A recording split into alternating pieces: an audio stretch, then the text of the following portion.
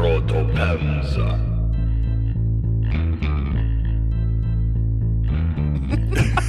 Galim perduoti savo linkėjimus, tai vėliau tikiuosi gerai jauties šiuo momentu. Povilai, jeigu klausai. Pirk bitkoinus, pirk bitkoinus dabar, dabar pirk. Ne, Maro, tu galvoji, kad 2009 metus eina šitą? Sveiki prisijungę į Proto Pemza, unikalų Lietuvoje idėjų pristatymo servisą tiesiai į jūsų smegenis. Tam, tam, tam. Su jumis kaip ir visada iš Pralaušk vieną šaltą studijos ir iš Punsko sveikinasi šūdmalystės likvidacijos gensekas Vilius, Labą dieną. Proto Pemzos Tomas Heigenas Povilas, Dabar reiks googlinti. Buongiorno. nacionalpatriotizmo kritikas Tomas Ahoj, ahoj. ir aš, jūsų blizganti Kropotkinų plikė Aivaras. Jez, kiek čia daug googlinimo šitam pasisveikinime. Sveikinu įsijungus antrąją Emos Goldman duologijos dalį. Praėjusį kartą palikome mūsų itin pavojingą moterį šiokioje tokioje depresijoje. Po visos prezidento McKinley nužudimo sagos ją apėmė ir išleikštulį savo pačios atstovaujamam judėjimui, kuriame jos kolegos pasirodė kaip tikri veidmainiai. Mm, o žinojai, kad depresija paliečia apie 5, man atrodo, procentus saugusių pasaulio žmonių? Tai taip, kai tiek streso darbe namuose, arba kai sužinai, kad tavo bendražygiai anarchizmo judėjime pasirodo kaip didžiausi pašlemėkai, tai sunku palaikyti tą tvarką mintyse. Bet tai yra būtina. Bliau, jeigu būtų koks nors, pavyzdžiui, appsas, kuris padėtų kažkaip geriau, pavyzdžiui, pasirūpinti savim. Toks, kur būtų, kur visko būtų, nuo meditacijos iki kvepavimo programų. Tai kad jau yra toks appsas. A, ne? Yours App yra sparčiausiai rinkoje auganti mindfulness programėlė. Pasirūpink savo vidinę ramybę su pasakojimais prieš miegą, jogos pamokomis ar kvėpavimo programomis, kurios atgaivina kūną ir sielą. Mhm, mhm, mhm. Šiaip tai aš sakiau, kad norėjau meditaciją pabandyti. Tai tu greičiau siūski šitą appsą, nes rasi ir meditacijos programų, ir raminančių garsų terapiją. Kas savaitę įkeliame naujo turinio, kuris dirbtinio intelekto pagalba yra specialiai pritaikytas kiekvienam naudotojui. Tai ieškodamas, ką čia sumedituoti ar ko paklausyti, rasi vidinę ramybę. Pamatysi. Mhm. A, kaip vadinasi appsas, einu siūstis. Yours App. Yours app, ok? yoursapp.com, taip? Taip, neseniai pats pradėjau naudoti, tai rezultatus jaučiu. Nu, žiūrėk, tiek klausimų uždavė, aš net nepreikiau tavęs. Zen. Gerai, supratau, einu apsiraminti. Sutaupykite 60 procentų Yours App metiniam planui. Spauskite yoursapp.com slash protopemza arba naudokite nuolaidos kodą protopemza. yoursapp.com slashas protopemza ir naudokite nuolaidos kodą protopemza. Daugiau detalių epizodo aprašyme. Tad 1903 metais Emma pasikeitė vardą į E.G. Smith ir pradėjo savo sėslų įgyvenimo periodą, kurio metu 10 metų gyveno toje pačioje rytų 13 gatvėje New York'e. Savo aktyvistinę veiklą šiuo metu ji žinoma irgi užsiminėjo, tačiau bent jau kurį laiką po viso prezidento skandalo stengiasi mažinti savo viešus pasirodymus. Tai lėmė visų pirma itin aštrus priešiškumas miniuose, dėka medijos sukelto skandalo tebelaikiusią ją prezidento žudike. Nepadėjo ir tai, kad šiuo metu miršta ir vienas jos senas ir itin artimas draugas, kas tik tai pagilina jos depresyvios nuotaikas. Atrodo, kad Ema nelabai jau nori užsiminėti kokią nors tai veiklą. O kiek jai dabar metų? 33-34 metų amžiaus. Pragyvenimui iš pradžių grįžta prie siuvimo, nepaisant gana reikšmingo nepatogumo, kurį jai šioje veikloje deliverino reumatizmas. Vėliau grįžta ir prie vairių pacientų slaugymo praktikos. Tai sukūrė ir kartais absurdiškų situacijų. Kadangi praktiškai visi pacientai nežinojo, kas iš tikrųjų yra toji panelė E.G. Smith, slaugydama Emma išgirsdavo, ką žmonės galvoja ir apie tokią raudonąją Emma Goldman. Jei aš pagaučiau tą moterį, aš išmirkyčiau ją žibale ir sudeginčiau gyvą. O įdomu, ji pati paklausdavo, ką jie mano, ar tiesiog užsisukdavo pokalbis. Kiek galima suprasti, tai pati Goldman figūra ir ta jos pavardė, jinai vis tiek sklandė. Na, nes diskusijose atrodo tarp žmonių, na, tie visokiausi aktyvistai, neramumų sukėlėjai, jie atsidurdavo. O gal kartais ir pati paklausdavo. O tai ką "Nu, manot apie... ką manot apie tokią Emma Goldman?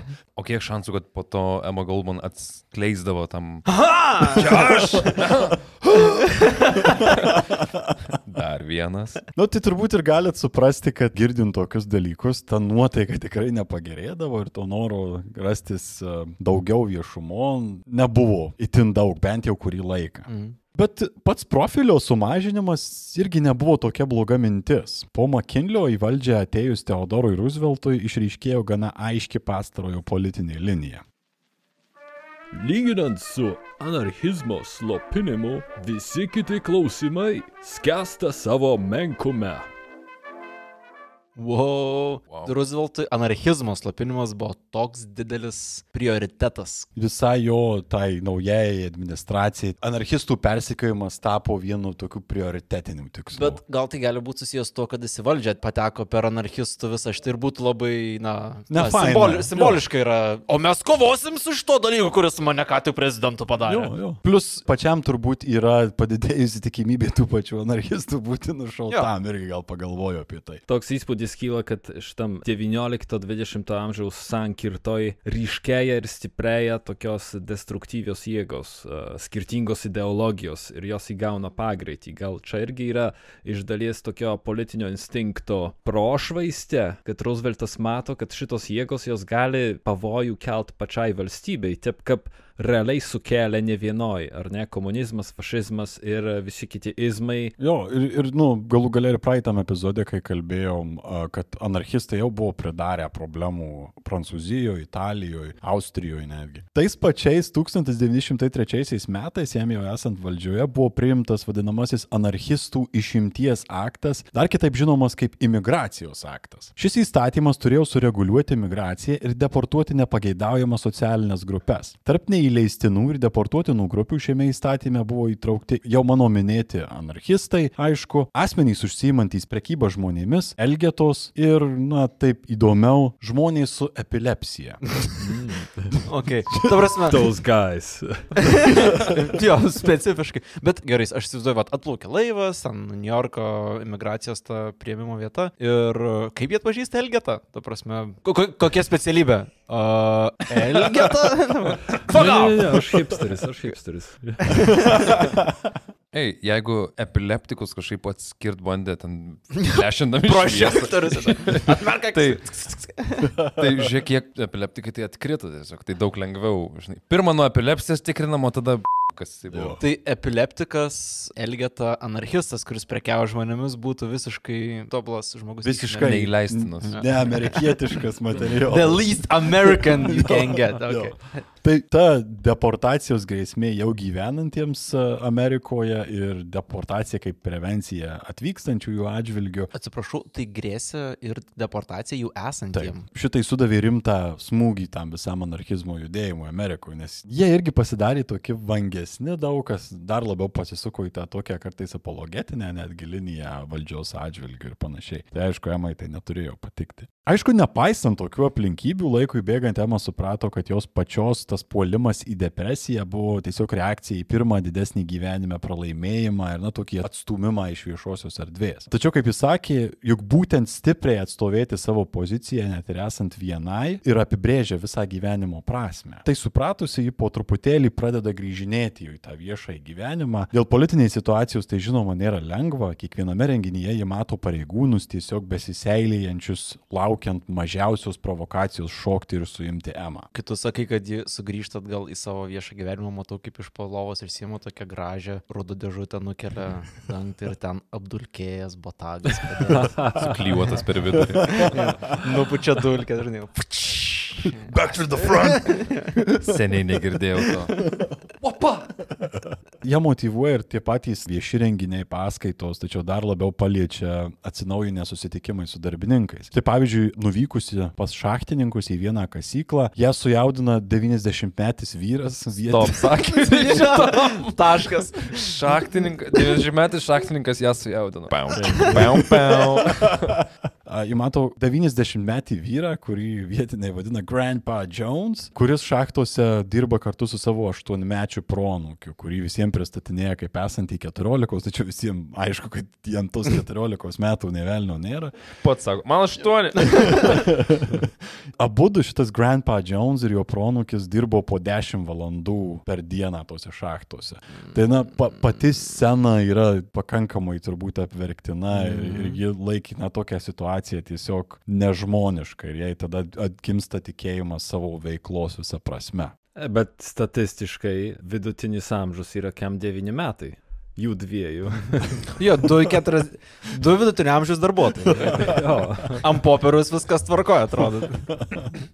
Kaip galite suprasti, tos aplinkybės darbo vis dar nebuvo pačios geriausios. 1906 m. kovą Emma Goldman įgyvendina savo seną svajonę. Pradeda leisti žurnalą, kuriame galėtų skelbtis anarchistai ir kiti laisvai mąstantys menininkai bei mąstytojai. Šį istoriškai svarbų anarchistams ir ne tik žurnalą ji pavadina Mother Earth. Pats žurnalas jisai tapo tokiu gan svarbia skelbimosi platforma, tenais spausdino net ir Levo Tolstojaus kažkokius tai tekstus vienu momentu, na ir visi kiti tokie kaip lyderiaujantys tuo metu laisvamaniai ir las las, laisvai mąstantys žmonės, ne tik anarchistai. Jos tikslas buvo ne tik tai stumti kažkokį anarchizmą, bet tiesiog leisti visiems su progresyviomis idėjomis pasisakyti. Mm. Už ką jinai gavo kaltinimus iš visų pusių. Iš kur yra resursų tam dalykui? Iš paskaitų. Kad... Jo, aukoja žmonės, pavyzdžiui, ateidami po dolerį kitą.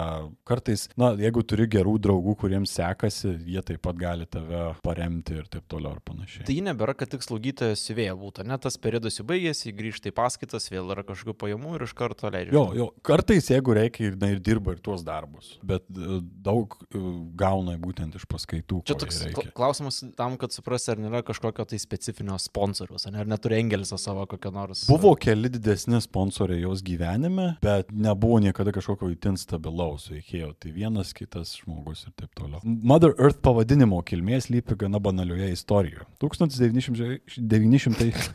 Kas man yra? Na, žiūrėk, kaip fucking Kadyrovas, kai tau don, pats don. 1906 m.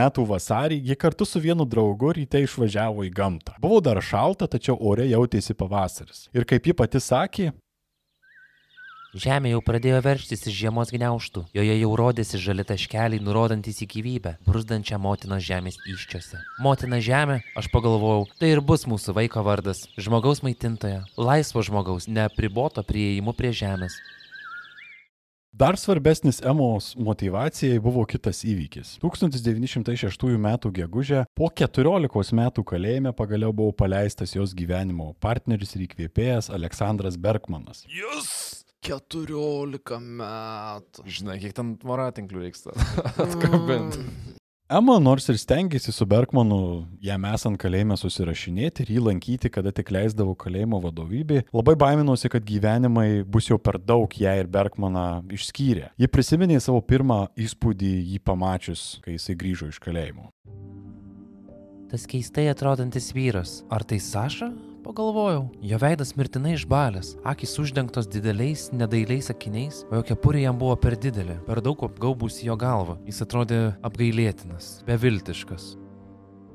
Saša atrodė labai liūdnai. Sugniuždytas 14 metų kalėjime, kuriame su juo elgėsi ekstra žiauriai, mintimis jis vis dar buvo jame ir sunkiai galėjo funkcionuoti normaliame pasaulyje. Ema suprato, kad kova dėl Sašos išlaisvinimo kažkuria prasme dar tik prasidėjo. Bergmanui norėjosi tylos, tad ir visur jį persekiojantys žurnalistai ir gerbėjai negerino situacijos. Susitikimai su bendražygiais taip pat kėlė paniką. Galvojau net apie savižudybę. Pykosi su ta pačia Ema, kuri jam kalint pati tapo stipresnė ir savarankiškesnė bei nebūtinai sutinkanti su visomis Bergmano ideologinėmis pozicijomis. Tačiau Emma visada stengiasi būti šalia ir jį palaikyti, suprasdama jo būklę. Tai gaunas, kad e, jis, kai sėdė kalėjime, jai buvo apie kiek daugiau nei 20, ne? Ir jis su tuo atsiminimu atsisėdo ir išėjo su visiškai kitu žmogum susitikti. Realiai. Ja. Nes jinai tapo vienu labiausiai atpažįstamų turbūt veidų visuose socialiniuose judėjimuose Amerikoje. Saša po truputėlį saugomas Emos pradėjo iš naujo atradinėti savo tikslą. Galiausiai prisijungė ir prie Mother Earth leidybos, kuris Emos aktyvių turų ir paskaitų dėka įgavo vis daugiau dėmesio ir gerbėjų. Kryžiaždžius Bergmanas sudarinėtų ir kryžiaždžių atsakymas būtų visą laiką koks nors kalėjimo kančios terminas. Izolatorius. Kraujuojantis su... 1907 m. rūpjūtį Ema sudalyvavo dar viename anarchistų kongrese. Šį kartą Olandijoje. Olandija buvo pirmoji šalis, kurioje kitaip nei Amerikoje ar Prancūzijoje anarchistams buvo leista atvirai surenkti savo konferenciją. Net žiniasklaida Ema nustebino, nes ji kalbėjo apie anarchistus ne kaip apie bepročius, o kaip apie rimtus žmonės su rimtais tikslais, net ir būdami jiems kritiški. Po Olandijos jinai apturėjo viešnagę vėl Paryžiuje, Londone, taip pat Škotijos miestuose. Ir būdama Škotijoje jis sužino, kad JAV valdžia jos nebenori įsileisti atgal į šalį būtent remiantis tuo antianarchistiniu aktu. O čia toks geras saik. Aha. Emai teko grįžti atgal namo per Kanadą. Taip ir galvoju. Taip apgaunant amerikiečius, besitikėjusius jos rytiniuose šalies uostuose. Atrodo, kad ta siena su Kanada yra tokia kiaura, kad visi meksikiečiai, norint patekti į Ameriką, galėtų tiesiog nuplaukti Kanadą ir perėti į, į Ameriką, nes kontrabanda, anarchistai. Jo. Grįžusi atgal į JAV, ji vėl puolė dirbti prie Mother Earth, kuris per laiką, kurį jinai praleido Europoje, su blogu merdėjo ir jai reikėjo vėl rasti finansų. O tai Amerikos valdžia nepastebėjo, kad negrįžo? Pastebėjo, kad Ai, jinai bet grįžo. tai jau kapą. grįžti jau. Jau. viskas. viskas. Jo, būtent, būtent negali, nu kažkaip negalėjo jos išmesti. Jos paklausė vienu metu, kaip jūs čia parsiradot, nes visi sakė, kad nenori jūsų įsileisti. O jinai tiesiog pasakė, tai paklauskite Amerikos imigracijos pareigūnų. ir tiesiog- Burn. Va, va, va, tai jie gali surinkinėti uh, valkatas iš gatvės ir siūsti juos į kitą šalį ir epileptikus kartu, bet anarchistų negali. Jei turbūt tuo metu negalėjo ir pripaišyti kažko labai rimto, ką jinai būtų padarius tuo metu. Jinai jau sėdėjus yra kalėjime, tenais atpirkusi tą savo kaltes, jinai dabar nieko kažko tokio agresyvaus, už ką suim- suėmė kas nors nepadarė. Ir man atrodo iš dalies ir tas. A, aš negaliu paaiškinti tos logikos, bet esmė ta, kad jinai grįžo į Ameriką ir jai niekas nieko negalėjo padaryti. Vėlgi pa- pasikartosiu, bet e, smagi Amerikos teisinė sistema, kuri atrodo, kad nepaisant drakonišką reikalavimą vis tiek gina. Jeigu tu negali įrodyti, a, būk tu valdžia, bet nieko tu nepadarysi. 1907 metais kartu prasidėjo ir finansiniai sunkumai Amerikoje ir darbininkai vėl nerimo. Emos darbas pasidarė kartu ir aktualesnis, ir dar sunkesnis. Jei nebeleista dažnai skaityti paskaitų, bandyta priskirti nusikaltimus, ji buvo nuolatos persekiojama saugumo struktūrų. Kaltinama buvo viskuo. Kartą atvykusi į San Franciską, ji buvo įtariama galimu ten besibazuojančių amerikiečių laivyno užminavimu. Emma Goldman. Taip. Ta Prasme, Taip. kaip naras nuplaukė ir užminavo laivyną, ne laivą, laivyną. Okay. Skamba rusiškai. Jo, Kur sukurtų istoriją tiesiog. Jo, vat. nu, žiniasklaida buvo labai sulakė vaizduotė, kaip ir minėjau. Tik antras Emma tokia klausy. Navy Seal. Mhm. Tikrai ta žodžio prasme. Ruonis, iš tikrųjų. Su kiekvienu pilnu menuliu. Bet kiek tavo veiklos laiko užima vartymasis iš dalykų, kurių tu nepadarai. Ir vis, aš tiesiog nustepčiau, kiek, ką aš padariau. Laivyną? Užminavau laivyną. Damn, I'm getting better. Tai jo, jo, jinai tai suprato ir per daug nesiparino. Paklausta vieno reporterio, ar tikrai atvyko susprogdinti laivų, jie pasakė. Kam švaistyti bombą? Ką aš norėčiau padaryti su laivynu, su visa flotilė ir taip pat su armija, tai tiesiog sumesti juos į įlanką paskesti. Jokios meilės kareiviam, šiemas, kaip suprantu, ne? O čia yra bendras anarchistų bruožas, kad e, kariai, nes tarkim, atsimenant spalio revoliuciją, tai kariai kaip ir buvo viena, na, kertinių varomųjų jėgų šitame, o taip išėjtų anarchizme yra vien tai, kad jie paklūsta autoritetui, ar... Čia irgi priklauso, kadangi tai nėra vientisa kažkokia ideologija, labai priklauso nuo tos, kaip sakant, srovės, bet pati Goldman atstovavo tą srovę, kuriai atrodė, kad karas apskritai kaip fo- faktas yra nusikaltimas iš esmės. ir visos institucijos šitai įgalinančios taip pat neturėtų egzistuoti. Na, toks labai klasikinis pacifistinis okay. okay. matymas. Emai visas šitas lyg ir negatyvus dėmesys tik padidino klausytojų skaičių. Mm. hint, hint. Jos kalbas rinkosi kartais net tūkstančiai žmonių, nepaisant vis dar pavojingos asociacijos teisės saugos akise. Dažnai yra kaip pavyzdys minimas vienas kareivis, nuteistas penkiems metams Alkatrase už nusikaltimą, kaip jie apibrėžė dokumentuose, nusikaltimą, kurio metu apsivilkęs karinę uniformą, karys dalyvavo Emos Goldman susitikime, gyrė jos kalbą ir spaudė ranką tai pavojingai moteriai anarchistai. Wow. Jis už tai gavo penkis metus. Penki metai už rankos paspaudimą. Tuo metiniam Alkatrase. Ne, negerai, jau, negerai. Bet išmest jos negali iš valstybės. O gali būti, kad jos ir celebričio statusas gal irgi prisideda, nes tada pikti anarchistai paims užbombarduos iš tikrųjų flotilę kokią. jo, protestai prasidėjęs ir panašiai. Jo, ir šito buvo baiminamas iš dalies. Ema vienu metu buvo pakviesta net į Australiją ir turėjo ten plaukti 1910 m. sausį bei pasilikti bent porai metų. Jo, Nes pusę metų plaukia, Jo. tai nėra tikslo trumpiau būti. Jo. Tačiau prieš pat iškeliaujant jį gavo žinę, kad iš jos, to originaliojo vyro Keršnerio, buvo atimta JAV pilietybė. Bet kažkokiu būdu atimta ta pilietybė jau po jo mirties. Wow, wow, deportuokim lavoną. Aha. Tai čia gal ją bando susidorot su ją ir, ir ieško kabliukų, ne? Jo, gali būti, aš nežinau teisiškai tiksliai, bet tai tikrai sukėlė problemų. A, Kadangi pati Ema buvo gavusi savo pilietybę per santoką su juo, jai iškeliauti iš šalies, veikiant tam antianarchistiniam mhm. aktui, buvo tiesiog per daug pavojinga. Tai nusprendė lailau. Tai kažkas tam migracijos ofise sėdėjo ir skymino tiesiog Tai- būdus. jo. Kaip čia dabar sugalvot, kad Ema negrįžta? Taip, bet tai buvo visiškai normali tuo metu taktika teisės saugos struktūrose, ne tik prieš Emma Goldman, bet pri, ir prieš mm. daug kitų va, tokių neramumų skatintojų, kaip jie vadino. Na tai jinai pasiliko Amerikoje. Skaitai toliau paskaitas ir vien 1910 m. gegužė ji buvo policijos sulaikyta net 11 kartų. Bet tik tai, na, trumpam suėmimui, nieko nepripaišiusi, Per- buvo paleista atgal. Per vieną mėnesį? Jo. Tai kas trečią dieną. Kurių tikriausiai net nebelabai jau laukia, ta prasme. Jo, kad... kad trečiadienį paleidžia, tai iki šeštadienio. Iki.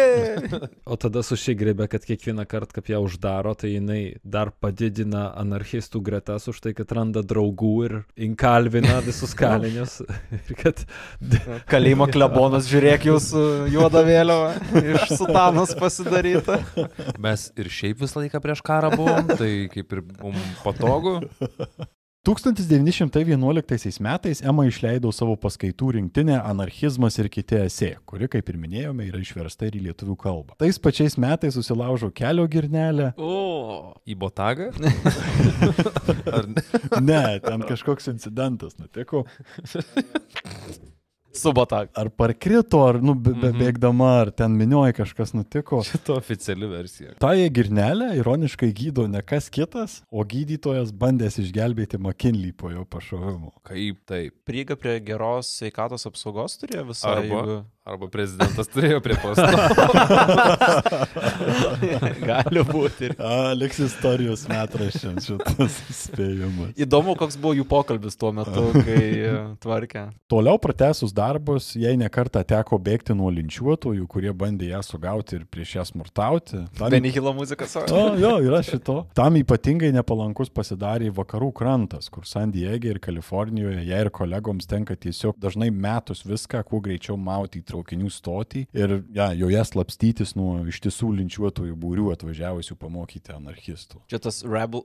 Jo, rebel, rebel, rebel su deglais ir šakėm ir šautuvais. Senas geras. Jo, jo. Bet ji toliau veikia, ką jinai veikia. Tai gal arba tos šakės nevaisios, arba ideologija. Nu, vis, vis, vis išvengia, nes ją taip kaž- kažkas perspėja, tai jinai pati pamato, kad galbūt reikia atsargiau elgtis. ir taip Bet kokio Po tiek laiko tu įpranti ir išmoksti turbūt elgtis su tokiam situacijom. pats faktas, kad minia ją mėgino nulinčiuot, man liudija apie tai, kad prezidento abejonės dėl anarchizmo ir dėl šitų judėjimų buvo pagrįstos, jeigu visuomenė yra antiek susipriešinus ir antiek pikta, kad ji gali tiesiog tuo e, minios žiaurumu remtis, čia jau yra tokios destruktyvios jėgos visuomeniai. Faktas. Bet pagalvokim ir atsakykim, ar ta minė yra pikta, kad buvo prezidentas nušautas, ar dėl anarchizmo judėjimo viso. Kokia yra paskata susidoroti su jais. Ar dėl to, kad iš- moteris suinfluencino žmogžudystę ir dėl to ją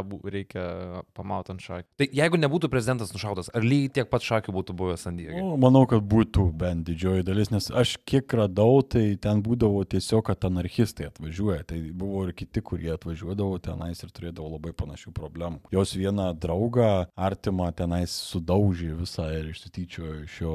1912 m. lapkritį, jai vėl atvykus į San Diegą, Emma pasitiko penki detektyvai ir iškart ją areštavo vos išlipus iš traukinio. Bet tai pasirodė visai nebloga opcija. Vietiniai linčiuotojai taip pat žinojo apie Emos atvykimą ir prie nuovados jau būriavusi ištisą minę, gatava sudraskyti Emą ir jos kolegas. Jei prisėjau sutikti su policijos vado pasiūlymu būti išeskortuota iš miesto ir jį daugiau negrįžti. Tai realiai ją saugant. Jo, kad, kad ne, nepridaryt to, dėl ko reiktų gailėti. O ar tuo metu Amerikoje žmonių linčiavimas tiesiog gatvėje būdavo toks, e, žiūrėk, kažką linčiuoja. Bent jau vakarų krante atrodo, kad taip. Tai jinai potencialiai su savo visą tą svitą galėjo žūti Taip. daug anksčiau. Čia buvo Visiškai. labai rimtas pavojus. Jo, jo, jo. Okay. Jo, nepaisant visko, matant tą tokią įsitusią minę, Emma jinai apstulbino. Apstulbino jos agresyvumas ir stichiškumas. Jau būdama traukinyje, važiuojančiame iš miesto mintyse, jis savo pažadėjo grįžti pas šią minę ir arba pagaliau ją sutramdyti, arba būti jos sunaikinta. Po kelių metų jinai grįžo tenais ir jinai sugebėjo perlaužti minę savo naudai. Nice. Dirbdama, skaitydama paskaitas ir bandydama išvengti linčiuotojų, Ema sulaukė žinių apie Europoje prasidėjusį pirmąjį pasaulinį karą. Ema karą laikė nusikaltimu. Ir dėl to kaltino ne ką kitą, o socialistus Vokietijoje.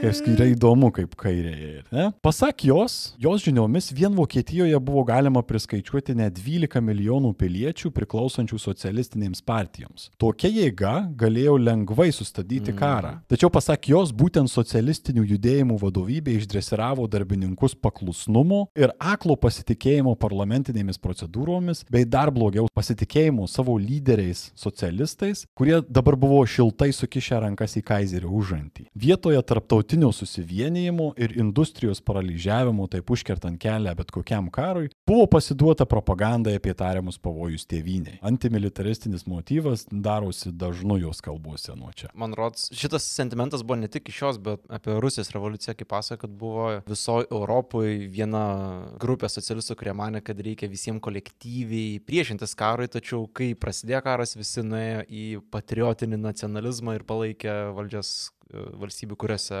buvo. Tai tas sentimentas gal nėra visiškai neteisingas. ane? Nėra, jo, bet ir gana paradoksalus Mhm. ne, ir toks įdomiai pakreipiantis visą šitą diskusiją. Šiuo karo metu Ema dar kartą suaktyvina ir savo paskaitas apie kontracepciją, apie kurios idėjas išgirdo dar 1900 m. Paryžiaus kongrese. Iki šiol nuolat grasinama kalėjimu, jie atvirai nekalbėjo apie kontracepcijos metodus, šeimos planavimą ir panašiai. Jis dažniausiai duodavo praktinius patarimus tik tai asmeninėme lygmenyje, nes moralistai tuo metu darė viską, kad tik užblokuoti pokalbius apie tai. Už tai buvo baudžiam? Taip. Už pokalbius apie kontracepciją Taip, baudžiam? taip, taip. Tačiau jis suprato, kad negali visą laiką kalbėti tik aplinkui šitą temą viešai. Arba jinai turi visiškai nutilti, arba kalbėti be užuolankų, nes tai jos galvoje siejosi ir su moters teisė į savo kūną, seksualinę laisvę ir bendrą emancipaciją. Vieno liberalaus amerikiečių klubo vakarienėje ji buvo pakviesta kalbėti prie 600 žmonių auditoriją. Ir jinai ketino kalbėti apie kontracepciją pirmą kartą tiesiai šviesiai. Draugai jos jau iškart pradėjo rinkti pinigus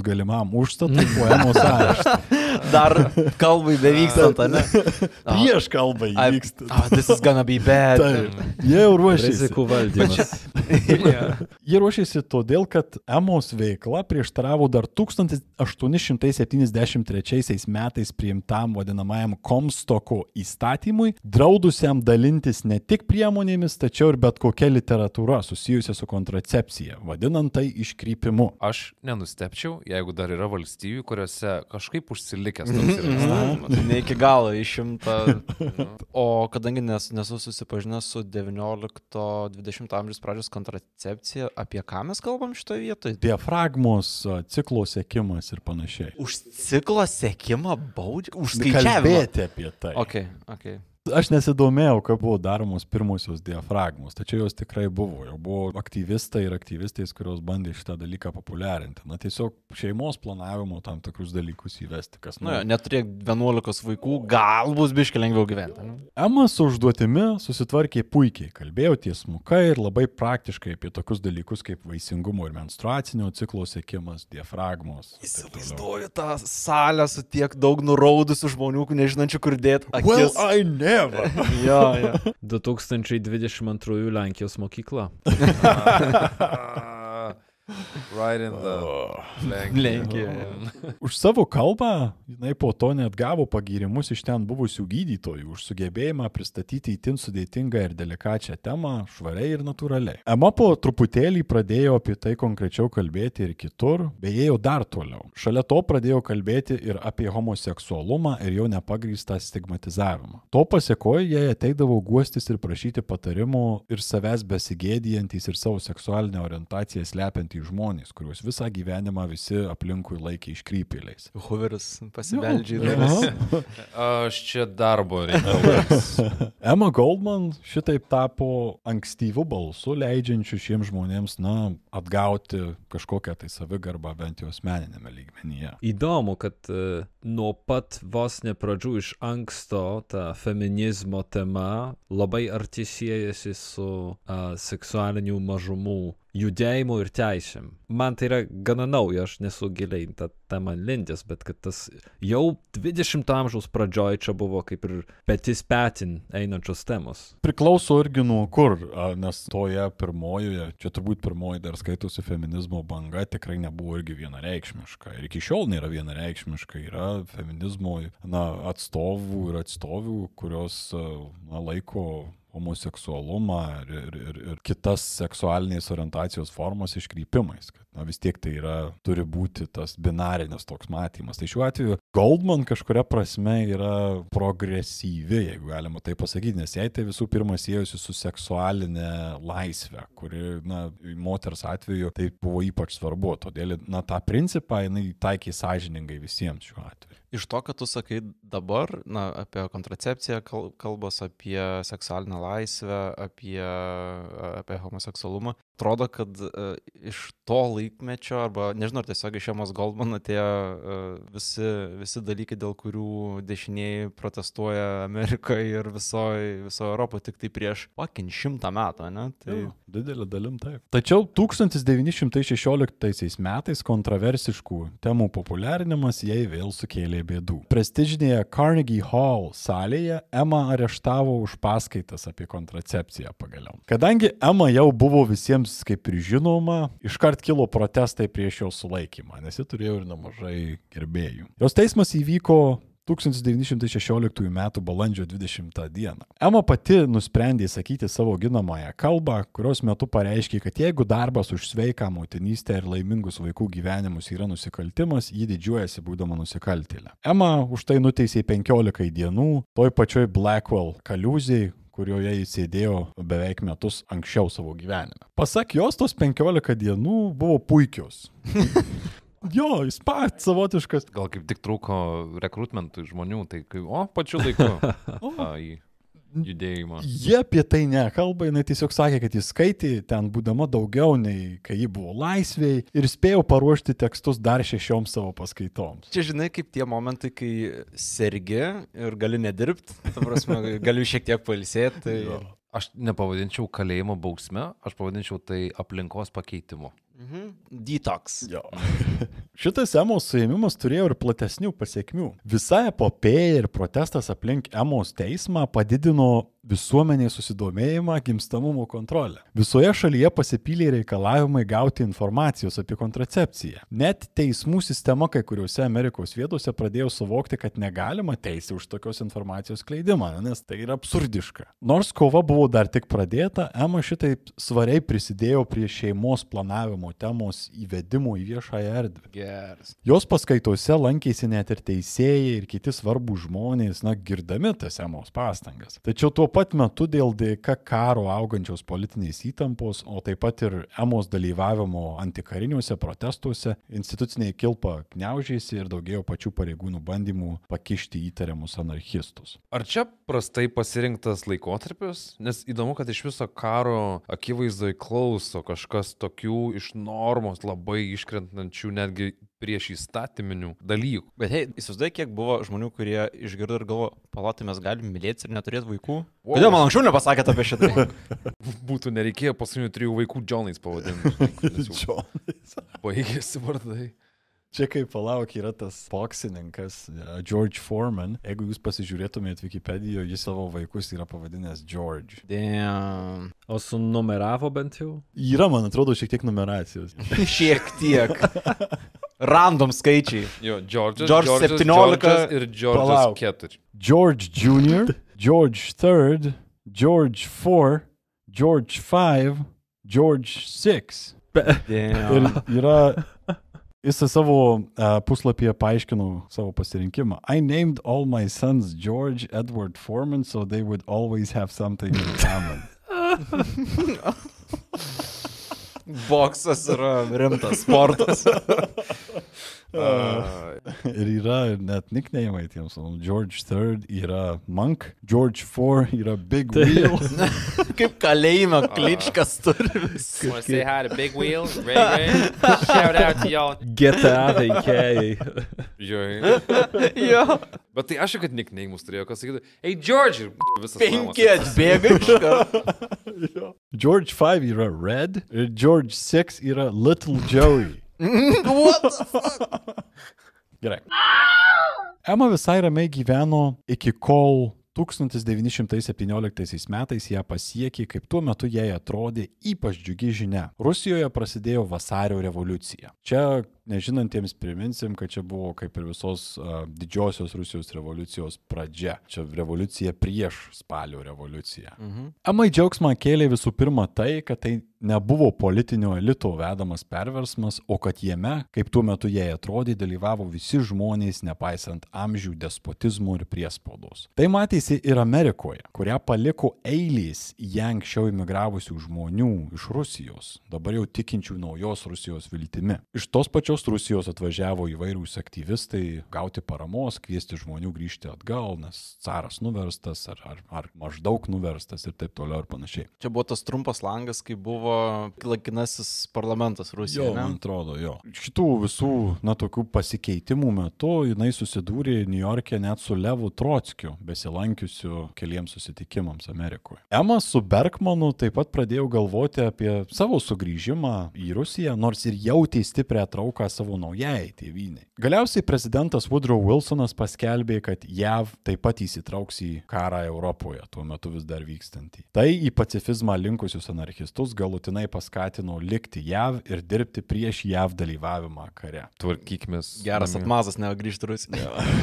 jo, jo, tai mes čia labai daug reikalų dar turim ne, nepabaigtų, žinokit. Tai... O tai planų Woodrow Wilson šauti neatsirado? Žinai, po 14 metų kalėjime turbūt jau ten braška viskas. Ne. Bergmanas maždaug, ne, ne, ne, ne, ne, ne, ne. ne Fool me ne. once. Jo.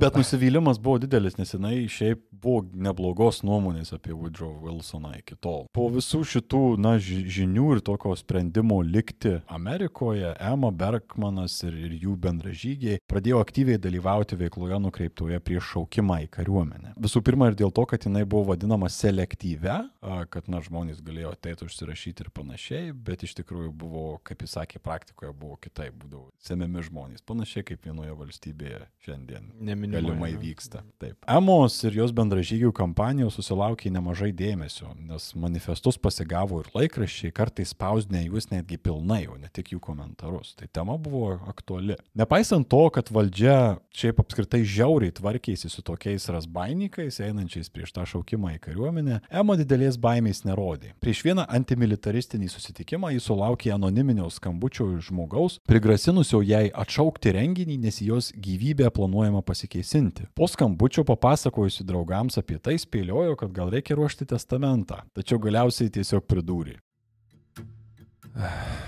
Aš turbūt gyvensiu iki šlykščiai seno amžiaus. Po kurio laiko Emma vėl areštavo, šį kartą už antikarinį straipsnį žurnale Mother Earth. Emma buvo jau taip pripratusi prie to, kad prasidėjus kratai jos namuose tiesiog nuėjo į miegamą į persirengti į patogesnę suknelę nakvynėje areštinėje. Ir ten policija dar bandė sustabdyti kažkokie eiliniai pareigūnai, bet detektyvai, kurie jau žinojo ją iš toliau, sakė, leisk. Paleisk, Ei, o tuo metu moralė nepriverstų policininkų likti už durų, kai moteris persirenginėja. Tai gal ir buvo. Jai ir liepė persirengti esant vienai, nes policininkas norėjo būti su ja. Įsivaizduojate, ateina į kambarį, renkasi suknelę, praverčia spintos taip dar giliau skyrių, pasižiūri į mažą rudą dėžutę. Va dabar. Emma ir Bergmaną, kuris na, buvo suimtas kartu, uždarė su didžiuliais užstatais. Už kiekvieną buvo nustatyta po 25 tūkstančius dolerių. Damn. Tuo pačiu juos abu apkaltino ir konspiracija prieš šaukimą į kariuomenę. Draugams vos ne vos sukrapšius sumą, Emma buvo paleista. Žiniasklaida, aišku, iš viso šito paleidimo padarė konspiraciją ir teigė, kad ne draugai, o Kaiseris sumokėjo užstatą. Tam, tam, tam. Niek, niek, niek. 1917 m. birželio 27 d. per 48-ąjį Emos gimtadienį įvyko jos ir Bergmano teismas. Ji savo asmeniškai džiaugiasi šituo achievementu, kad per gimtadienį jos teismas vyksta. Proga pasirodyti. Visi draugai, nereikia ieškoti, kur nuomotis vietos, ta prasme. Jinai kartu su Bergmanu iš karto apstulbino teisėjus, eksplicitiškai atsisakydami dalyvauti teismo procese. Atsisakė ir kažkokios tai kvalifikuotos gynybos. Jie pavertė teismą spektakliu, kuriame klausimais prisiekusiesiems pradėjo propaguoti savo idėjas apie vedybas, skirybas, seksualinę laisvę, kontracepciją ir kitus klausimus. Nu, pavyzdžiui, pradėjo klausti, ar žinant, kad aš pasisakau už kontracepciją, galėsite priimti nešališką verdiktą mano atžvilgiu, kas automatiškai kelia įvairių klausimų mm. apie nešališkumą. Tai turėjo sunaikinti visus šansus jiems apsiginti. Tačiau tai kartu leido jiems oficialiai be ne pirmą kartą anarchizmo idėjoms pasireikšti ir oficialiuose teismų stenografijose. Teisiškai tai nėra, kad jie negali. Ir dar savo agendą prastuminėja tuo metu, kas yra visiškai rebel. Visi šeštokai nori tokiais būti, bet niekada nebus. Ir šitoj vietoj jie nebuvo toli nuo savęs išgelbėjimo, nes kaltintojai buvo apgailėtinai prasti, ten traukė visokias nesąmonės, sakė, kad Emma Goldman skatina eiti prieš kariuomenę ar kažkas tokio, nors ji nei vienoje vietoje irgi gudri būdama nesakė to eksplicitiškai.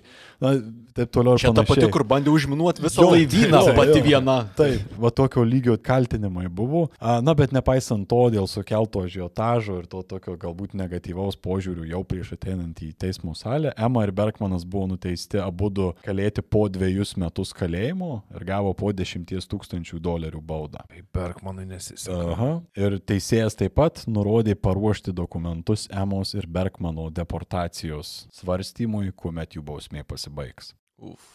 Mother Earth leidyba iš karto buvo nutraukta ir didelė dalis Emos knygų ir raštų buvo užbaninti Amerikoje. Užbaninti turiuomenį visiškai. Uždrausti. Wow. Ei, bet čia pasiekimas. Mano mintys surašytos į veikalus yra draudžiamos. Tai reiškia, kad Kažką darai gerai. kažkoks jo įrodymas yra. Bet kita vertus, jeigu tavo tikslas yra tas mintis kleisti, tai biškis sunkiau. Ema iškart išvežė į kalėjimą. Kitą kalėjimą, ne pirmą kartą, kaip kalėjau. Ir sąlygos tuose naujuose namuose buvo geresnės už Blackwallą, nes duodavo net karšto vandens vakarais, o kartu galėjo rašyti ir gauti laiškus. Jei kiekvienas kalėjimas yra spa, ta prasme vis geresnis ir... O dabar į birštą nuvarys. Gerėja, gerėja sąlygos. Tik bent jau pradžioje jie užkniso kas 15 minučių skambantis laikrodis kalėjime, to, kur to skambėjimo pabaigoje visada kažkas surikdavo toli. Viskas gerai! Po dviejų savaičių tame patogiame kalėjime ją trumpam ištraukė iš jo vienas draugas, kuris buvo stiprus teisininkas ir sugebėjo apskūsti teismo sprendimą. Ema turėjo apie tris mėnesius iki kitos sesijos. Sužinojau išėjusi, kad jos sūnėnas, sesers Helenos sūnus Davidas užsirašė į kariuomenę. Nors jai tai labai nepatiko, ji nieko nesakė ir nebandė jo atkalbėti, nes tvirtai laikėsi nuostatos, kad toks sprendimas yra kiekvieno asmens mhm. laisvės ir Jo. prerogatyvos klausimas. Vėl tam tikras, turbūt, jeigu galima pasakyti, nuoseklumas, nes jeigu tu kalbi už laisvę, tai tu turi duoti tą Jo. laisvę žmogui. Savo ruoštų jį toliau dirbo prieš militarizmą, net ir laukdama kito svarstymo. Tai buvo itin sudėtinga daryti dėl vis sunkėjančios politinės situacijos JAV, tačiau sales vis tiek rinko pilnas, ypač kuomet kalbėdavo apie įvykius Rusijoje. Dar daugiau tam peno radosi, nes spalio revoliucijos dėka valdžion Rusijoje atėjo bolševikai. Tačiau čia kaip tyčia Ema gauna aukščiausiojo teismo sprendimą. Ji turi grįžti į kalėjimą, išsėdėti savo bausmės. Ji šį kartą yra išvežama į Jefferson City kalėjimą, kuriame ji ir praleido ateinančius porą metų. Jei dar esant ten, 1918 m. lapkričio 11 d. visoms kalinėms buvo leista nedirbti. Niekas nesuprato, kodėl tuo metu. Tik kitą dieną jums paaiškinau, kad buvo pasirašytos paliaubos. Pirmasis pasaulinis karas baigėsi. Bet kaip įdomu, moterų kalėjime laisvadienį duoda už tai, kad karas baigėsi. Alkatras atsimenu laisvą dieną davė, nes buvo beisbolo finalas. Svarbios dienos. Super Bowl. visas. Jo, jo. Prioritetas. Nu, reikia vyram pažiūrėti, žinai. Aha. Tačiau šalia džiaugsmo Emai atėjo ir liūdna žinia. Emos sūnėnas Davidas liko kažkur Prancūzijos laukuose. Kai jis ėjo į kariuomenę, jis galėjo pasilikti kariuomenės orkestre, kuriam buvo ir priskirtas, kadangi buvo gabus muzikantas. Tačiau jis pasiprašė į frontą, kuriame ir baigė savo dienas. Davido motina Helena ėjo iš proto, iš sielvarto. Ema pergyveno, kad būdama kalėjime ji negali dorai paguosti savo sugniuždytos sesers. Mano sesuo Helena rodė man daugiau meilės ir rūpeščio nei mano tėvai. Be jos mano vaikystė būtų dar nikesnė. Ji mane apgynė nuo daug smūgių ir malšino mano jaunystės sielvartus ir skausmus. Tačiau aš negalėjau niekaip jai padėti, kai jai labiausiai to reikėjo. Emai beliko tikėtis, kad laikas šiek tiek išgydys e, Heleno žaizdas, o pati Ema, pabaigusi bausmę, galės kur nors Heleną išsivežti ir padėti atsigauti. 1919 metais Emai kalėjime su- suėjo 50 metų, nors ji pati juokavo, kad jai dar tik 30, nes savo tikruoju gimtadieniu laikė savo 1889 metų atvykimą į New Yorką, o ne 20 metų prieš tai. Mhm. 1919 m. rugsėjo 28 d. ji išėjo iš antrojo ilgesnio savo safario JAV kalėjimų sistemoje. Po viso to iš karto grįžo į Rochesterį pasimatyti su Helena ir nors tikėjosi jos blogame stovyje, vis tiek buvo nustebinta. Netekusi daug svorio, sugniuždyta ir nuolatos verkianti Helena buvo pavertusi į seną moterį. Helena paprašė Emos pasiimti ją į New Yorką, ką Ema, nors ir būdama skeptiška, pažadėjo jai padaryti. New York'e Ema susirado butuką, į kurį įsikraustė su Helena ir jos dukra Mini. Pradžioje viskas atrodė neblogai. Nauja vieta, darbai ir pažintys lyg atgaivino Heleną. Tačiau nusidėvėjus pirmam įspūdžiui vėl grįžo depresija ir kalbos apie sugriuvusį gyvenimą. Helena net prašė Emos padėti jai baigti dienas ant šio žemės. Dėl to kilo ir šiokių tokių konfliktų. Helena apkaltino Emą nenuseklumu, nes pastaroji visada sakė, kad kiekvienas žmogus yra laisvas daryti su savo gyvenimu, ką nori, o staiga savo seseriai neduoda net to, ką suteiktų negaluojančiam gyvuliui. Tad Ema, lyg ir prieimusi argumentą, nustojo ginčytis, tačiau aktyviai seseriai nusižudyti nepadėjo. Vietoje to, kiekvieną kartą išeidama miestan, bijodavo grįžinti ir rasinti Heleną išsitaškiusi ant šaligatvio. Pirmam aukšte gyvenu. Galų gale Ema turėjo ir kitų bėdų. 1919 m. spalį prasidėjo svarstymai dėl jos deportacijos. Ai, čia tas, kur turėjo būti, jei išeis iš kalėjimo, ne? Čia Emai viskas jau buvo daug sudėtingiau. Jei kitose šalyse po karo pabaigos prasidėjo amnestijos banga, Amerikoje prasidėjo vadinamieji Palmerio reidai kurių metu dažnai nelegaliomis priežastimis buvo deportuojami nepageidaujami socialiniai elementai, dažniausiai netitinkantys politinių pažiūrų toleruojamų sistemoje. Šitiems reidams vadovavo vienas tuo metu 24 metų vaikinas, tapęs tikra rykšte Amerikai ištisiems dešimtmečiams po to. Įdomu, kas tai toks galėtų būti? Norintiems kiek daugiau išgirsti apie tai, rekomenduojame mus paremti Contribui ir paklausyti antrajai Karpio trilogijos daliai skirtą idėjų komposto epizodą. Kartu suprasite, kas susiję Emos Goldman ir ne bet ko kito, o Alvino Karpio istoriją. Tai jums kainuos vos bokalą alaus per mėnesį. Šansai būti nedeportuoti Emai buvo praktiškai nuliniai. Ypač po to, kai Ema dar tų pačių svarstymų metu laisvėje paskaitė tūkstančius klausytojų sutraukusias paskaitas apie anarchizmą ir Rusijos revoliuciją. Gruodžio pradžioje Ema yra informuojama, kad bus deportuota iš Junktinių Amerikos valstijų kartu su Bergmanu. Emma Goldman deportacijai prisistatė į Eliso salą, kur pastebėjo, kad sąlygos nepasikeitė nuo pat jos atvykimo. Turbūt dar ir Nepagerėjo. jo, nepagerėjo Vis dar flešina naujai atvykusius. 1919 m. gruodžio 21 d. Ema su Bergmanu yra įkišami į laivą. Ema deportuojama į Rusiją. Damn, 19 metais. Fun, fun, fun. Į pilietinį karą Rusijos tiesiai. Okay. 1920 m. sausį nebe problemų perplaukus vis dar užminuotą Baltijos jūrą, kuri pasirodo buvo dažnai minuojama visada karo metais, ir pakeitus pagrindinį tikslą iš Liepojos Latvijoje į Hanko Suomijoje, Ema pasiekė savo galutinį uostą. Pilna jaudulio ir vilties jį pagaliau žengė į tuo metu jau sovietinę Rusiją ir traukė į tuometinį Petrogradą arba Sankt Peterburgą. Mhm. Tai išvyko 14, grįžo 51. Ir jinai savo turų Europoje metu nebuvo niekad Rusijoje užsukus. Ne, nebuvo Rusijoje. Emai buvo ko džiaugtis. Vietiniai visus deportuotus iš JAV aktyvistus sutiko su šypsenomis ir dainomis kaip ypatingus svečius. Atvežėt pinigų? Iš Amerikos kavos atsivežė, nes, nu, kiti atvyko su tam tikrom atsargom, tai visi laukė, kaip faina ir panašiai. Mani, mani, mani. Nors ir matėsi, kad žmonės gyvena pusbadžiu, pasak Emos, užteko jų akise degančios viltingos ugnies. Ir visgi, ji neilgai truko sužinoti apie centralizuotą kontrolę, čekistų valdžią ir pilietinį karą šalyje. Mhm. Čia per pirmas dvi valandas tikriausiai. Nu, gana greitai. Oh, wait! Netruko pastebėti jo elementus, kurie visgi neleido klestėti ar net kvepėti anarchistiniai laisvė, kurios troško Ema. Rusijoje, kitaip nei Amerikoje, nebuvo galima net iššokus į traukinį be leidimo nuvažiuoti ten, kur nori. Leidimas, tas propusk, prie bolševikų buvo svarbesnis nei pasas prie caro. Nors Ema tebe tikėjo revoliucijos idealais, kažkas pradėjo kirbėti.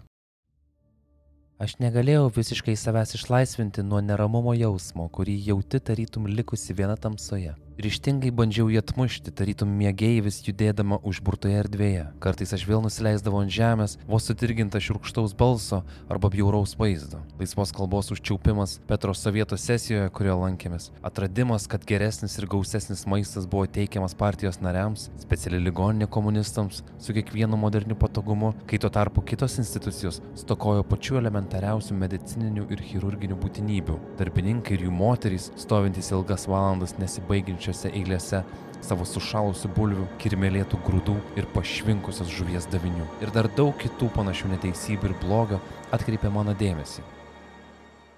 Smagu girdėti, kad e, tikrasis Sovietų sąjungos veidas buvo matyti jau 1919 metais. Labai greit. Ir čia net ne tai, kad ji iš labai kontrastingos šalies atvažiavo. Čia tiesiog nėra, kad atvažiavai iš tokio rožinio sapno į šūdą. Nu, ir dėl to tai atrodo šūdas, kur tu atvažiavai. Ne, tu atvažiavai į šūdą. Jo. Jeigu būtum iš kito šūdo atvažiavęs, vis tiek žinotum, kad jo, still in shit. Objectively bad, ta prasme, yra. Ema ir Bergmanui komunistai žinoma sakė, kad čia tik laikina, kad pirmą reikia laimėti pilietinio karo kovą ir tik tada visas neteisybės bus galima ištrinti. Laughs in Stalin. Jo, tai aišku, kad laikina iki 90-ųjų. Jo, Kitiems dar šiek tiek ilgiau užsitęsi. restartavo neseniai. Pakartoti. pakartoti. Jo, ir aišku, buvo kaltinami visi kitoje pilietinio karo pusėje esantys vadai ir taip toliau, kad jie čia viską su- sugadino. Tačiau Ema nebuvo durna ir matė, kad kažkas yra ne taip. Nusivylė jį ir sutiktais didžiaisiais revoliucijos vadais. Pavyzdžiui, Grigorijus Zinovjevas jai pasirodė ištižęs ir silpnas, o jo balsas paaugliškas, aukštas ir nekeliantis didelių pasigėrėjimų. Dar labiau sunerimo išgirdusi apie Trotskio įsakytus sušaudyti anarchistus Maskvoje. Emos rožinė akiniai kažkaip tai pradėjo skilinėti. Šūdais plaukti. Jo, juk jai tik atvykus sakė, kad vietinis kalėjimas beveik tuščias, o mirties bausmė seniausiai atšaukta. Bet girdėdama šūvius kiekvieną naktį, Ema ne visai tuo tikėjo. Ei, tai dėl Dažnai to, ir, ferverkus čia šaudo. ne, dėl to ir tuščias buvo tas kalėjimas, kad tiesiog visus iš karto ir šaudė. Jo, ten jai pasakodavo, kad ten kadetai tiesiog treniruojasi, mm. pavyzdžiui, Nu, šaudyti. realiai jie treniravos tik tai ant gyvų taikinių. tai. jo, mažai žinomas faktas, bet terminas įspėjamasis šūvis į galvą atsirado Rusijoje. Na, bet tik atvykus ir tuo metu nežinodama tos dar visos tikrovės, tik nujausdama, jinai vis tiek bandė kažkaip matyti tik geriausius dalykus. Tačiau jos žodžiais tas perkreiptas tikrasis sovietinis Rusijos veidas negalėjo būti ignoruojamas. Eba paaiškinimo kreipėsi net į Maksimą Gorkį, kurį pažinojo. Ji atrodo ieškojo kažkokio paaiškinimo, kuris pateisintų ir racionalizuotų visą siaubą, kurį matė revoliucijoje. Tačiau Gorkis jai atkirto. Kaip tu gali būti tokia nustebinta trūkumų, kuriuos randi sovietskoje Rusijoje? Kaip sena revoliucionierė, tu turėtum žinoti, kad revoliucija yra niuri ir negailestinga užduotis. Mūsų vargšė Rusija atsilikusi ir primityvi. Jos masės amžius paskendusios nenuovokoje ir tamsoje, brutalios ir tingios labiau nei bet kuri kita tauta pasaulyje. Vėlgi, kaip smagu, kad vienas amžius nieko nepakeitė. Visiškai. Absoliučiai nulis pokyčių. Progresas? Negirdėjau. Aha. Gorkio žinutė buvo aiški. Visuomenę reikia laužyti tol, kol ji bus tokia, kokios reikia revoliucijos tikslui. Po susitikimo Ema liko nusivylusi. Gorkis, buvęs jos idealu, pasirodė milžinų molinėmis kojomis. Neįtikino susitikimai ir su kita prie viršūnės esančia bolševikų grėtinėle. Tad galiausiai kartu su Bergmanu Ema nukako net pas Leniną. Wow. Pats Vladimiras Iljičius pasitiko abu du anarchistus džiugiai, išgirdamas jų tekstus ir kalbas Amerikoje. Ir Leninas gavo krūvą klausimų dėl to, kas po velnių darosi revoliucinėje Rusijoje ir kas nutikė su laisvu žodžiu. Leninas atsakė taip, kaip iš jo, kaip meluojančio autokratinio ruso galėjo ir tikėtis. Čia yra barzuatinis sentimentalumas. Atimkite ko nors. Tai bus geriausias būdas atgauti revoliucinę pusiausvyrą. Gali nuvalyti mikrofoną. That permanent damage yra. Tad gavus tokį didūno pareiškimą, prisėjau susigalvoti, ką veikti revoliucijos labui. Gal tikrai Leninas teisus ir čia tiesiog per daug mąstymo yra. Leninas baisiai apsidžiaugė Emos ir Bergmano siūlymų įkurti iniciatyvą, kuris siektų padėti anarchistiniams ir panašiems judėjimams kovojantiems dėl laisvės Amerikoje. Tačiau aišku, iškart liepė siūsti visus tekstus ir kreipimusius patikrinti ir cenzuruoti pagal bolševikų politinę liniją. Mm, ta logika, kurią Leninas išsakė, yra tokia evil kažkuria prasme, nes tu matai blogį, tai tu nematai blogio. Tu dirk, dirk ir viskas bus gerai. Ta prasme, O gali tas pačias mintis reikšti, kol dirbsi? A, Mhm. O, gerai. Emai tai labai nepatiko, tačiau net nespėjus išsiaiškinti šito klausimo, abu su Bergmanu jie buvo mandagiai išprašyti iš Lenino kabineto. Gerai, kad Ema savo stiliumi nepuolė ginčytis, nes galėjo pabaigti turbūt su kulka pakaušyje. Ema nenorėjo dirbti partijai, tad po kurio laiko pradėjo galvoti apie kokią nors kitą veiklą, tiesiogiai naudingą žmonėms. Turėdama patirties kavinių įkūrime ir valdyme, nes ji su kolegomis buvo įkūrusi vienu metu New York'e gana sėkmingą kavinę okay. nusprendė sukurti valgyklų kaip ir tinklą ir prisidėti prie geresnio maisto atsargų naudojimo bei skurdo mažinimo tarp gyventojų, kurie gyveno pusbadžių tenais. Šitai galiausiai buvo pavadinta buržuaziniu išmislu vietinių komunistų. Jo, šerts? žmonės. Jo, šitas nesvarbu, nes revoliucija yra svarbiau. Kągi, po to Ema bandė pritaikyti ir savo slaugymo patirtį. Sugalvojo dirbti ligoninėje, kur taip pat galėtų kažkam padėti. Buvo priimta išskėstomis rankomis, nes diplomuotų slaugių trūko. Tačiau ir ten darbas galiausiai virto nerūpešiu kitai žmonėm, o vyriausiojo gydytojo paskaitomis apie komunistinės valstybės nepajudinamumą. Ema vėl neapsikentė, nes e, dėka visų ideologinių nesąmonių negalėjo net sergančiųjų sąlygų pagerinti. Visur vyravo veidmainiškas brutalumas ir elementarus apsišykimas atneštas didžiųjų revoliucionierių. Ema galiausiai neapsikentė pamačiusi, kaip buvo elgiamasi su pačiais streikuojančiais darbininkais per Kronštato sukilimą 1921 m. kovą, kuomet tūkstančiai darbininkų protestuojančių prieš bolševikus buvo tiesiog išskirsti kaip didžiausi priešai judėjimo, kuris turėjo juos suprasti. Tačiau iš tiesų sovietinėje Rusijoje buvo tiesiog brutaliai tildoma kiekviena nuo Lenino linijos nukrypstanti nuomonė. Maskvoje net kojos padėti negalėjai be sekančio čekisto žvilgsnio. Ema nekentė to miesto. Galiausiai jis suprato, kad gyvybė toje revoliucijos iliuzijoje neturėjo jokios prasmės. Tai buvo svylanti patrankų mėsa vardan kelių save elitu laikančių revoliucijos vedlių. Tad praleidę beveik du metus šalyje, kurią laikė savo tikraisiais politiniais namais, Ema ir Bergmanas nusprendė iš ten mauti. Reik tept slides. Negali kaltinti. Ne, ne. Nei vienas žmogus, kuris nusprendė pabėgti iš Svietų Rusijos.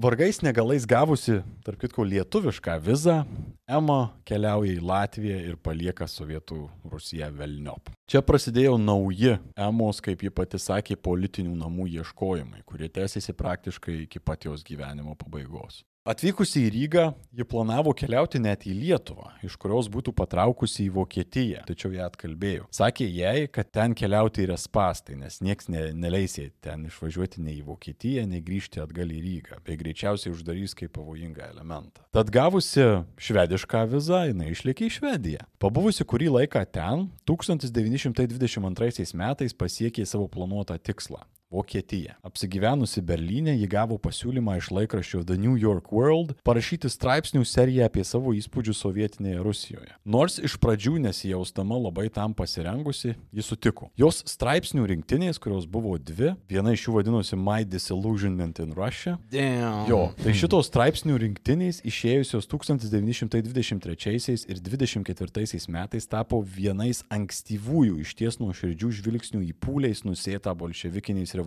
snukį. Aišku, už tai atsėmė ir kritikos kaip idealų išdavikį. Tik dar vienas įrodymas, kad buvimas sąžiningu nepatiks politinių zombių rikiuotės linijoms. Po kurio laiko Emai Vokietijoje prasidėjo vėl problemos dėl pilietybės. Atsirado grasinimai deportuoti. Ema svarstė apsivesti, tačiau vietoje to nusprendžia visgi galiausiai keliauti į Didžiąją Britaniją, nors ir baisiai nemėgo depresyvaus oro Londone, kaip jis sakė. O čia pasverkim. Depresyvus oras Londone, grįžimas į Rusiją, kai jau prirašai straipsnių. Kaip ten šūdas.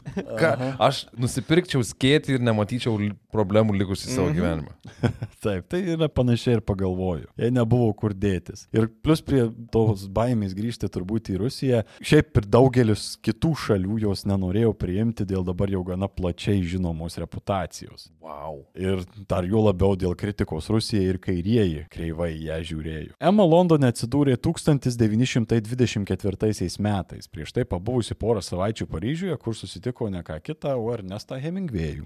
Atvarius į Londoną, jie apsigyveno pusrūsyje, sunkiai gana vertėsi, vėl ėmėsi paskaitų, kuriuose sugebėjo išlikti autentišką savo. Įgavo ypač daug velnių už tai, kad kritikavo Sovietų Rusiją. Tuo metu daugeliu Londone esančių radikalų, atitolusių nuo konteksto, buvo nesuvokiama, kaip didžioji anarchistė Emma Goldman gali skambėti panašiau į konservatyvius torius nei į socialistus savo Sovietų Rusijos vertinime. Ir niekam nešovė gavo mintis, kad ji buvo tam. Ja, žinai, labai prim... seen it with my own eyes. Taip, bet Ko dar reikia? Bet ir vėl kas keičiasi. Ar, nu, man tai asmeniškai labai primena ir šių dienų vakariečius ir veganinių latė kairiuosius, kalbančius pavyzdžiui apie tam tikrų šalių imperializmą Europos rytuose, visiškai nesuvokiant, kokį siaubą jie teisina. Mm -hmm. Ir visgi nebuvo viskas taip jau blogai. Ema vienu momentu sukūrė kontaktus net su garsiu politikos teoretiku Haroldu Laskiu ir filosofu Bertranu Russellu. Pastarojo tiesa, na, viešo kalbėjimo sugebėjimai jos nesužavėjo. Ema bandė pasinerti ir į turtingą kultūrinį gyvenimą Londone. Britų muziejus ir teatro pastatymai tapo itin mėgstamais jos objektais. O Bergmanas keliauja kartu visur. Nu, jis ten maždaug, jisai nebūtinai visada yra tam pačiam mieste, bet, nu, daugiau mažiau toj pačioj šalyje. Jis užsiemė savais dalykais, bet jie visada yra kontaktai.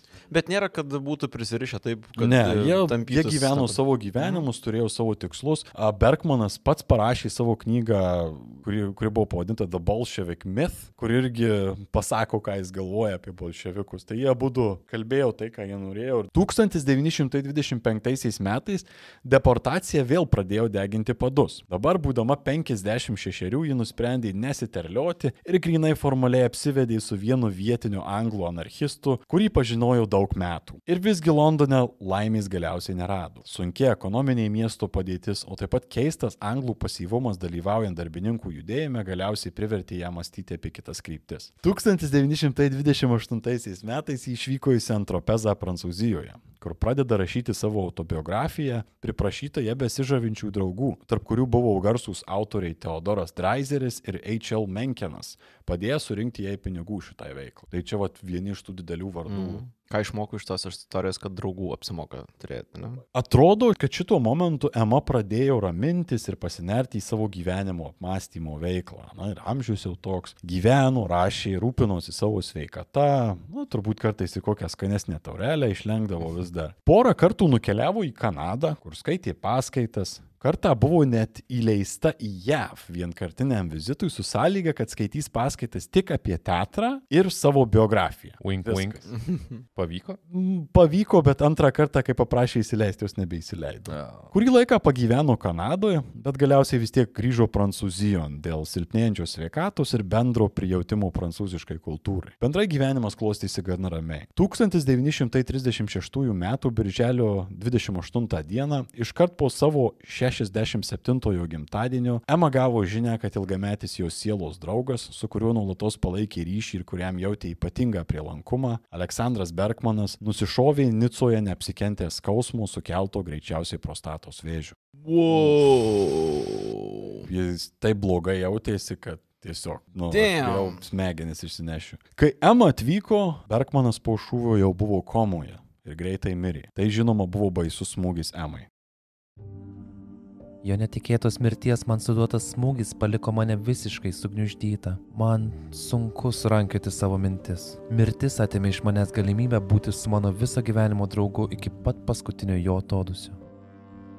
Šitame kontekste Ema pradėjo svarstyti ir apie savo pačios mirtingumą. Tačiau per ilgai šituo savęs neskandino. Nutiko kažkas didelio. Tais pačiais 1936 metais Ispanijoje prasidėjo pilietinis karas. Jame, kad ir beviltiškai, tačiau kovodami su Francisko Franko nacionalistais, ispanų anarchistai pradeda savo revoliuciją. Emai nėra kada liūdėti. Nepaisant savo amžiaus, ji net per daug nesvarstydama mauna į Ispaniją po to, kai gauna kvietimą į Barceloną. Ten jai, kaip pati vėliau rašė, Bergmano mirties svoris ant jos širdies kiek palengvėjo. O tai buvo todėl, kad ji, jos manimu, pagaliau pamatė tikrą anarchistinę revoliuciją. Katalonijoje ji gavo pagyventi iš ties anarchistinėse bendruomenėse paremtose brolybė ir solidarumu. Gyvenant kolektyvuose, ji tikėjo, kad būtent šita revoliucija gali paneigti mitą, kad anarchizmas yra tik tai chaosas. Čia nesivelsime į detalės, tačiau ši revoliucija emos liūdėsiui ir nebe komunistų įsikišimo beje buvo galiausiai sužlugdyta. Nors Ema tebeskaitė paskaitas apie tai, kaip na tokį galbūt krestomatinį atvejį, jis suprato, kad ir šis politinis pakilimas bus numalšintas ir nacionalistai perims valdžią. Taip ir nutiko. Tačiau visam laikui liko vertinama Ispanijoje laikyta netgi savotiška dvasinė ispaniško anarchizmo motina. 1939 metais, neapsikentusi augančios fašizmo bangos Europoje, Ema persikėlė į Kanadą. Stebėdama įvykius vedančius prie antrojo pasaulinio karo, savo raštuose ir pareiškimuose ji dar kartą akcentavo savo priešiškumą bet kokioms valstybių vyriausybių sukelto karo formoms. Ta prasme, jai vienodai griso ir autoritarai, ir vadinamieji demokratai. Jei jie pradeda eiti karo keliu, tai iš principo reiškia polinkį į fašizmą. Jos manimu, Europoje brėkštantis naujas karas atneš tik naujas beprotybės formas šiam pasauliui. Kaip žinome iš to, kas vyko istorijoje toliau, Ema buvo visiškai teisi. Tad galime laikyti šiokią tokią laimę, kad jai neteko viso to pamatyti ir Mhm. išgirsti. Labai laiku persikėlė į. Kanadą. 1940 m. vasario 17 d. ją ištiko sunkus insultas, paralyžavęs visą jos dešinę kūno pusę. Nors vis dar girdėjau, kalbėti jau nebegalėjau. Daugeliu jos draugų tai buvo šokas. Žmogus visą gyvenimą ėjęs su savo žodžiu, tarytum ginklu rankose, dabar sėdi tylus. Atrodė, kad pradeda taisytis, tačiau gegužės 8 dieną patyrė dar vieną insultą. To paties mėnesio 14 dieną ji mirė Toronte. O pasaulis neteko iš ties kaip reta veržlios, aktyvios ir turbūt svarbiausia iki pat paskutinės dienos savo ištikimos asmenybės, negalėjusios savo meluoti net tuo met, kai ją aplankė pilno pralaimėjimo jausmas išvydus bolševikiniais revoliucijos šlykštumus. Tačiau ji, kitaip nei daugelis kitų, didžiais vyrais save laikančių revoliucionierių, nebuvo ta, kuri užmerkė akis prieš neteisybės. Kad ir kaip prieštarautumėme vienoms ar kitoms jos nuostatoms ir idealams, negalime paneigti šios po Lietuvos saulės susiformavusios asmenybės autentiškumo. Asmenybės, kuri nuolatos priminė, kad veiksmas pagal įsitikinimą yra tai, kas leidžia mums iš ties tapti laisvais. Neveltui ant jos kapo parašyta viena žinomiausių jos sentencijų. Žvelgiant į nūdienos įvykius netoli mūsų, atrodo sunku rasti geriau politinę žmonių būklę ir siekio tyrumą apibūdinančius žodžius. Laisvė nenusileis pas žmonės. Žmonės patys save turi pakelti iki laisvės.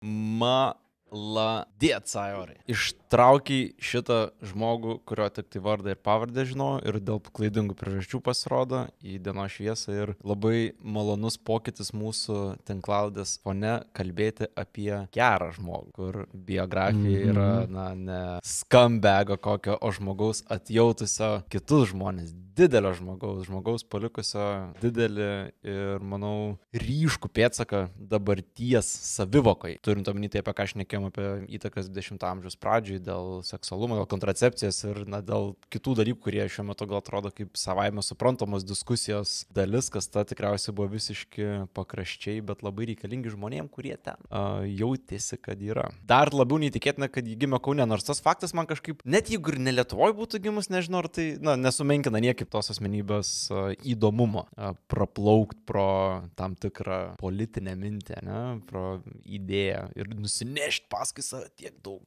žmonių su šituo. Nice. Ir dar nežinau, ar esu girdėjęs istorijų apie labai kietas oratorės moteris iš tikrųjų. Ir tuo pačiu oratorė šalyje, kuri net nebuvo jos gimtoji šalis. Jo, ta prasme. Tai čia dar papildomos kliūtis tau tapti tokiu Mhm. veikėju, o jinai ksevino. Aš net su savo kalba nesukontroliuočiau vieną kambarį.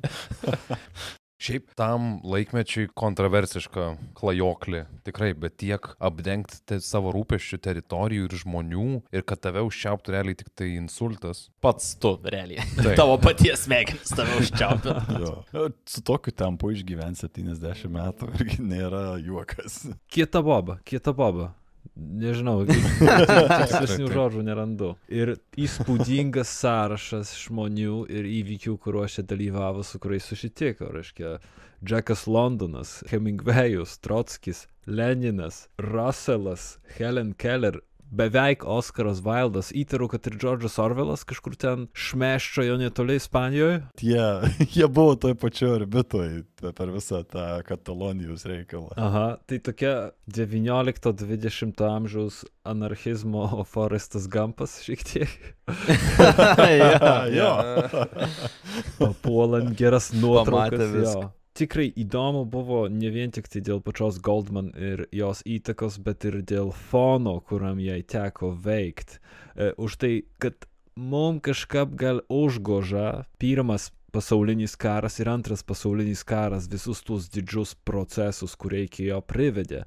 Bet, e, nu, ten buvo parako bačka ir toj bačkai tik tai didėjo metai iš metų tiek Europoje, tiek Amerikoje. Šiaip, e, kas man ir tokia visai naujiena buvo, ant kiek Amerika buvo nerami tuo metu ir toli Mhm. gražu ten nebuvo aišku, ar jie įsijungs į karą ir kad jie tikrai turėjo rimtų priežasčių to nedaryti. Ta prasme, viduje šalies turi pakankamai didelį jovalą, kad dar ir e, į tokias avantūras e, už jūros už Atlanto verštis ir vis dėlto. Ir va tokį visai nemažą akmenuką prisidėjo ir kaunietė. Du dalykai. Pirmas, tai mane nustebino visoji šitoj dviejų dalių istorijoje, kad aš jau pirmos istorijos pusės, pirmoj kažkur pradžioje jau būčiau pasidavęs turbūt. Nes jinai tiek gavo pagalių į ratus, bet tiesiog visus dalykus prieėmė kaip kažkokią kliūtį, kurią tiesiog reikia perlipti ir eiti tolyn uh, link savo tikslo. Tai šitas visai turbūt gal įkvėpė netgi ir kitus, kaip ir sakei, kad jinai buvo gan, nu ne gan, o labai įkvepiantis žmogus. Tai tą savo pėdsaką jau, kad ir insultai pribaigė, bet man atrodo, kad skrido tolyn visas jos palikimas šitas. Ko man gaila tik tai, kad jinai nesulaukė Woodstocko. Vat po šito galėjo tie palaukbiški. Kur būtų tokia guest star, kur įveža vežimėlį ant scenos tiesiog, kad jinai niksoniškai. Parodai. Trofina rūkštį, ne? Ir uždaro festivalį jos pasirodymą. Arba atidaro. Neužmigšiu, jei negausiu atsakymo. Ar ją palaidojo su botagu, ar botagas kažkur muziejui dabar? Nežinau, bet žinau, kad leido jos kūną parvežti atgal į Ameriką, jinai yra palaidota kažkur ten prie Čikagos ir ant jos antkapių yra neteisingos jos gimimo ir mirties datos. Ar tai data, kai jinai atvažiavo į Ameriką? Ne, tiesiog sumaišytos datos. Gal kažkas iš mūsų klausytojų gali nueiti ir nuotrauką padaryti. Visai tiek. Kad žinotum. Jo, jeigu važiuosiu Cool kada į būtų. Ameriką, tai tikrai... Reiks- Goldman. Reiks, reiks tikrai jo nuvaryti. Labai turtingą gyvenimą pragyvenau. Nebuvo Jo, jo. kraujo ugnies brutalizacijos jos pačios padarytos. Hei, nužudytas vienas prezidentas yra. Čia kalėjime sėdėjo. nu, bendrai nėra to tokio brutalumo, bet paliko įspūdį, kaip jinai praėjo viską. Tai netau vienam, Aivarai, Mhm. manau. Ačiū, Man Aivarai. labai malonu, jeigu a, jums kolegos ir jums klausytojai, besiklausantiems šitos epizodus, taip pat a, galbūt a, sudomino šitą asmenybę, tikrai rekomenduojam paskaityti apie ją daugiau. Aš čia tik tai dalis suminėjau. Na ir paskaityti jos darbus. Ta prasme, jūs galite nepritarti, tačiau kartais praplėsti savo akiratį alternatyvių pasaulio matymų taip pat nepakenkia. Gal nepasadinsi kalėjimą niekas už tai. Mhm. Mm. Negalim pažadėti. Jo. Negalim pažadėti. Negalim Nežinom, kada jūs pažadėti. klausot iš tikrųjų. Neramus laikai dabar. Jo, tai turbūt šiandien tiek. Kviečiame visus jūs e, sekti mus Facebook'e, Instagram'e. Ateikit, laikinkit. Taip, YouTube. Vos už alaus a, bokalo kainą per mėnesį galite mus paremti ir gauti įvairaus ekstra turinio, kurį a, norime ir planuojame tik tai plėsti, plėsti, plėsti. Apsilankykite a, mūsų kolegos Tomo rubrikoje Ką šneka Lenkija. Atkreipčiau dėmesį, kad šneka uh, rašosi su CZ, tai ne visi gali rasti iš karto, tai nepamirškit, ką šneka Lenkija su CZ. Šilenkiška, jo, nereikia skaičių naudoti visai. Patogu, patogu. Turbūt tiek ir iki kitų susitikimų ateityje. Iki. Iki.